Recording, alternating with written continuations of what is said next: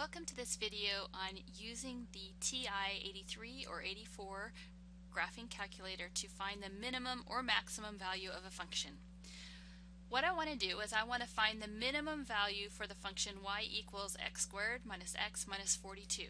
So the first thing I'm going to need to do is to graph this function. So remember the steps to graphing, we're first going to press y equals and then we're going to put our function in in our y1. So let's go ahead and press clear to clear out our old function. We're going to use this x button here to for x. So we're going to x squared minus x minus 42.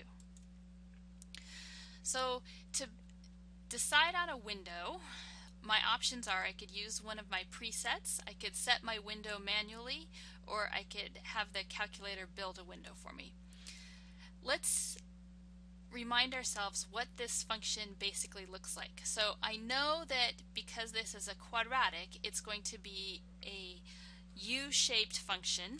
And since the coefficient of my x squared is positive, I also know that it's basically going to have this shape here. It's, going to be u-shaped and it's going to open up. So my minimum is going to be way down here.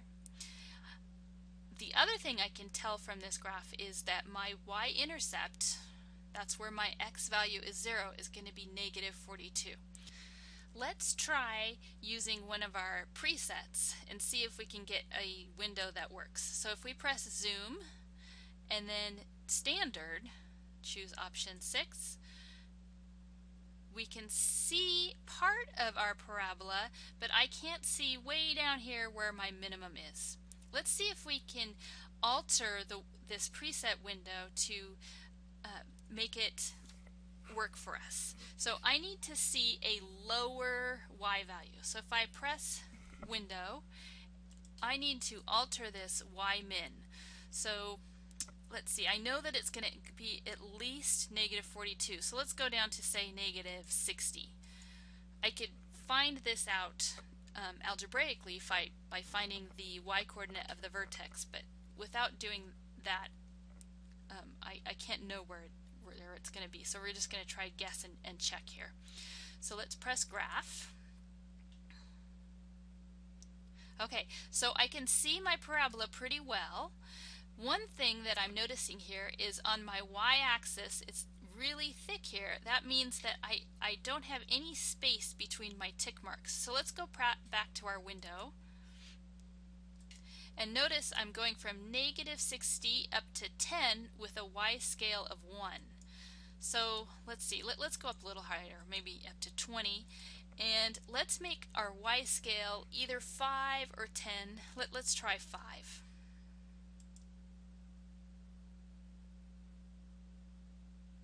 Okay, so we, we can see our parabola here pretty well. And what I want to do is I want to find this spot down here where our parabola reaches its minimum value. The way we're going to do this is we're going to use the calc menu to have our calculator find that spot for us. So if we press second and then trace, that gets us into our calc menu and we have lots of options here and we want to find the minimum value so we're going to choose option 3. Finding a maximum value is going to work the same way as finding a minimum value. Okay, now once we choose that our calculator is going to ask us a series of questions. So the first thing it asks us is left bound. So what it wants us to do is tell us where approximately our our minimum is. So I want to take my spider here and I want to move so that I am definitely to the left of where that minimum is. So if I move this way, okay, I know that I'm definitely to the left here. Once I'm to the left, I'm going to press enter. Okay, now it's going to ask, ask me a, a different question. Also notice up here a little arrow appeared. So this is the left um, side of my interval that I'm telling it. So it asks me for a right bound. So I'm going to move my cursor, my spider, so that I'm to the right of my minimum. Okay, so I'm definitely to the right over here. And then I press enter again. And then it asks me for a guess. So I could move to where the guess is, where I think it, a, a good guess is, or I could just press enter. So press enter and I can I'm done now. It tells me that my minimum is at x equals 0.5000. So your number may come up as something slightly different than this. We're going to round this to 0.5.